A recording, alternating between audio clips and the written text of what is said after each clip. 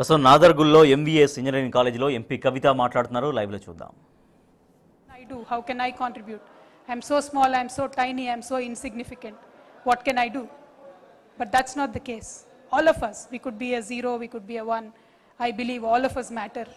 And all of us need to take certain actions to matter more. And I believe, as a computer science engineer, since the world functions on zero sign wo- one, and zero matters as much as one does, in this whole world, every single person matters and everything matters. And drawing inspiration from the Indian independence movement, if you can just look back what we have achieved in this country. There was a small, tiny action triggered by the Britishers. They imposed a salt tax on us, right? And that salt tax united the whole of the nation. Earlier, it was not so. India was just a concept. It was just a different, different states, many fiefdoms, many serfdoms, many small, tiny kingdoms. But that small action of Britishers triggered the unity in the nation. And under the leadership of Mahatma Gandhi ji, all of us united. We fought, and this was in 1930, the Salt March. And within 17 years, India got independence. The kind of trigger this salt tax acted as, it gave us freedom, it gave us independence. I mean, we could be looking up at a leader, but I look at it in the sense that when Mahatma Gandhi ji walked there, picked up the salt and held his hand high, that matters to me more than anything, and that mattered to Indians at that point of time. And that is why today I believe we are free. I mean, a small action, a small gesture taken up matters a lot. And drawing further, India is a place for various movements that we've seen. And I'm very proud to mention this next one. This is a movement led by women and inspired eco uh, friendly people across the world. This is a Chipko movement I'm talking about. This was in 1970s when commercial logging was allowed in India and contractors were given free ride. They could go fell the whole of the forest and nobody could do anything about it. But these women from the Raini village in Uttarakhand, they had faced severe problems of devastating floods, mudslides, not having their uh, proper firewood to be collected. Their livelihoods were taken for a toll. They were resisting it, and they had resisted with all their might. And this was, a, this was one particular day when the contractors came to the Raini village. All the men of the village were lured to some other area by trick by the contractor. Just the women of the village were there. Women saw that these contractors came in. They went there. They stood near the trees. They tried to stalk, talk them out of this. But the lumbermen was not, li- not uh, listening to them. They were insisting on cutting the trees. So instantly, these women emotionally take up a small action. All of them just go and hug the trees.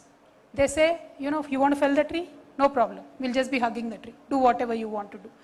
And trust me, these women held ground for four days. And the government of the day had to come down and take back the contract, and the commercial logging, logging in that area was cancelled. And this led to many, many environmental movement across India. And not only in, in India, across the world, this women's movement is even today referred to as ecofeminism movement. And this is referred as a case study. Wonderful research has been done on it. I mean just think about it. Instantly emotionally that one thought that came to this woman's head that led into such a brilliant movement and it saved so many forests and it inspired so many other people and likewise we are very lucky indians we have a lot of examples to draw from when I think about uh, Ramayana, this ancient scripture of ours, which is greatly revered, Lord Rama's wife gets kidnapped by this ten-headed demon king. He, he puts Sita in an island away from mainland of India. So Lord Rama now has to build a bridge from mainland India to the island, right? So he has the support of these great Vanara kings, the monkey kings, and all of them are excited. All of them start building the setu or the bridge. Now monkeys are very powerful, very strong. These Vanaras, they are carrying these heavy boulders, huge stones, they are building a bridge. Now touched by the plight of Lord Sri Rama, his struggle for Sita, one tiny brown squirrel wants to help. So she comes in, she's rushing up and down of the mountains, taking small tiny pebbles to the shores. And the monkeys laugh at her, they mock her. What are you doing? Why are you getting in the way? Get off. You know, they mock her, but she never goes away. She constantly is going up and down, bringing the pebbles and putting there. Now, it's only in the due course of time, in a matter of time, that monkeys realize for all these big boulders and huge stones to stay in place, the binding pebbles are necessary. And they needed those pebbles for the bridge to stay put. And Lord, Rama, all of us know, blesses the squirrel and tilde, the, the squirrel has, you know, those three beautiful uh, stripes on her back. Well, it is a myth or it is a belief or whatever, but I draw great inspiration from this story. You know, we matter, however small we could be, in the ecosystem, in the larger scheme of things. Every positive thought, every brilliant idea, every tiny little action, it somewhere, somehow, brilliantly fits in the scheme of things. And while thinking about these things in the most recent times, in the backdrop of, uh, backdrop of great deal of cultural discrimination and uh, developmental apathy mooted to the Telangana region uh, in 2001, Telangana people have launched an agitation. And of course, there was mainstream political agitation supported by intellectual students. But then women of Telangana slowly made their way into this movement. Very softly, but surely, women carried Bathukamma on their heads.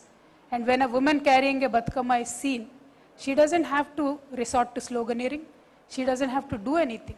It is a strong cultural symbol which sends a great message that yes, we want a separate state.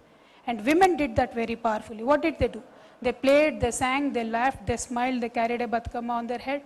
And women set smaller goals. They said, let this festival be identified as a state festival. And even at the current establishment, United Andhra Pradesh, they had to give a state festival status to Bathukamma. And these are small victories that came in the way. And then, of course, the state was eventually achieved in 2014. But then women played a greater role. And women always played a greater role in various uh, uh, wars or many, many movements across the world. Now, when for me personally, if I have to draw some inspiration from Telangana movement and adopt them in solving the problems of the world, how do I do it? And why do I say I can solve the problems of the world? You know what happens? It's so funny. Often there are complex questions, very serious, huge questions, but the answers are very simple. Complex questions don't have to have complex answers. Complex questions can have simple problems. Now, what are the, what are the huge problems faced by the world? Inequality, poverty, climate change. Now, climate change is a huge issue. But how can I, as an individual, do something about it? Can't I do anything about it? I can stop a tree from being fell. I can go plant a sapling. I can switch off my light. I can only use my AC when needed. I can do something in my own space. I don't have to be a tall leader. I don't have to be a Bill Gates to donate millions of dollars for research. I can do my own bit. What do I do to remove inequalities in the world? I don't have to go to Africa, try to feed poor people there and have a photograph in the paper. I can just start by helping my own helper. I can eradicate poverty by donating if I have more than what I need. I can start doing things like how the squirrel did, like how the women in the Chipko movement did, like how everybody else in the world where people's movement mattered, where minority voices mattered, when small positive actions mattered. Similarly, we can do and solve these various issues in the world. And I sincerely believe there are very, very many things the world